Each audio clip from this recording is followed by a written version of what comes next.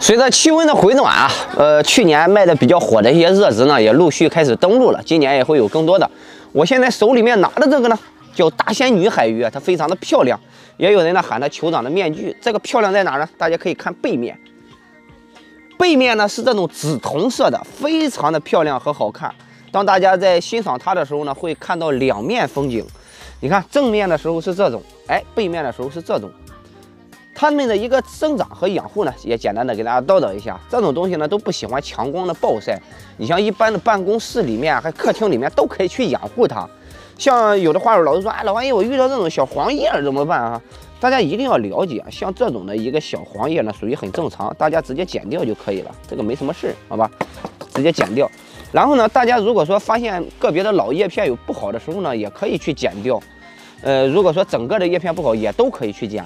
但是大家要知道个什么呢？它这种叶子生长的时候呢，是在这个，你看，是在这个中间这个位置，这个这一根儿，它从它肚子里面再出来新叶子的。所以说大家剪的时候不要齐根去剪，齐根剪的话会把这个里面，它这里面已经孕育好的那个小叶子给它剪掉的。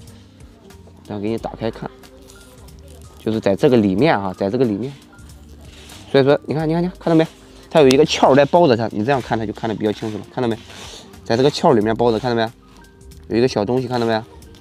这就是它的新叶子，看到没？就这个位置。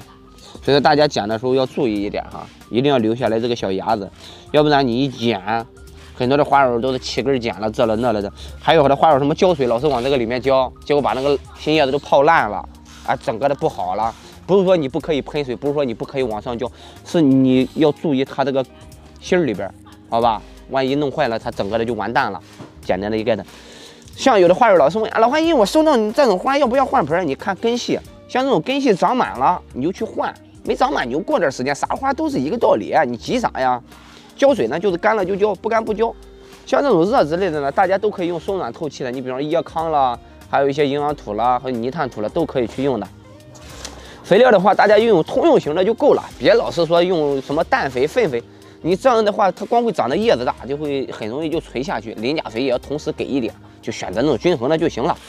然后气温，这种呢最低的一个气温呢，尽量的维持在十度以上，十度以下呢就会显得特别不好。一般低于十五度的时候就停止生长了。不怕热，这玩意儿不怕热，害怕强光暴晒和寒冷，害怕积水沤根。好吧，别的没啥了，就这么撂着吧。